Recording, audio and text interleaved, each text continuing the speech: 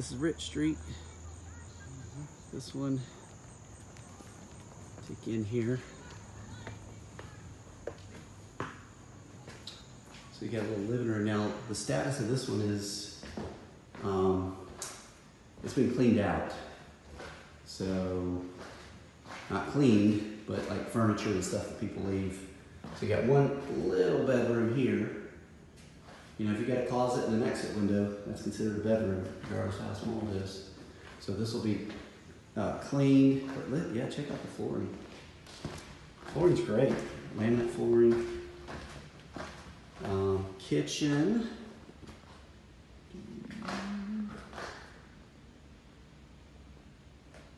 So we'll come in here, paint the cabinets. Uh, sink seems to be in pretty good order. This is the door that goes outside.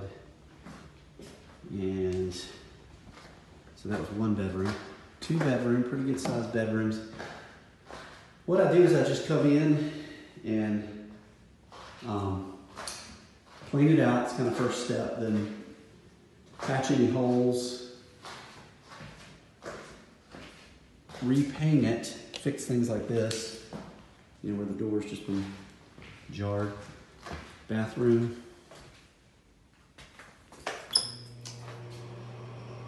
Washer and dryer. That's kind of an unusual configuration. Hold, leave a whole lot of room. Shower.